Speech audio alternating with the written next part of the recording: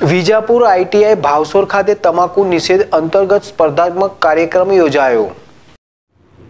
Vijapur ITI ભાવસોર ખાતે national tobacco cell Mehsana તથા તાલુકા health કચેરી વિજાપુરના સંયુક્ત ઉપક્રમે પ્રાથમિક આરોગ્ય કેન્દ્ર લાડોલના સબસેન્ટર લાડોલ બે દ્વારા આઈટીઆઈ હોલમાં રાષ્ટ્રીય તમાકુ નિયંત્રણ કાર્યક્રમના અનુસંધાને વક્તૃત્વ સ્પર્ધા યોજાઈ હતી, જેમાં આઈટીઆઈમાં અભ્યાસ કરતા વીસ જેટલા વિદ્યાર્થીઓએ ભાગ લીધો હતો, જેમાં વિજેતા પામેલ સ્પર્ધકોને પ્રથમ, દ્વિતીય, તૃતીય બાળકોને ઇનામ આપવામાં આવ્યું હતું, જ્યારે અન્ય વિદ્યાર્થીઓને પ્રોત્સાહન ઇનામ આપવામાં આવ્યા હતા.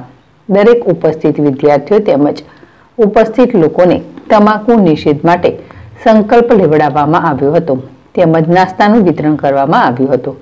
શાળા દિવાલ પર ભીંત લેખ પણ કરાવેલ આ કાર્યક્રમમાં ટીએચવી ગીતાબેન રાવલ તથા પ્રાથમિક આરોગ્ય કેન્દ્ર Ladol MB Vaghela MPHS Ladol Patel Mehulbhai Chaudhari, Shaileshbhai MPHWSC Ladol એક બે તથા કોલેજના આચાર્ય તેમજ સ્ટાફગણ તથા વિદ્યાર્થીઓ બહોળી સંખ્યામાં ઉપસ્થિત રહ્યા હતા. સૈયદજી બુખારી, જેડેશ ટીવી, વિજાપુર.